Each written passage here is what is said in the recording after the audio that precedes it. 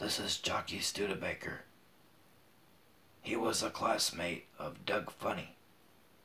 Born in 1981, he would be 40 today.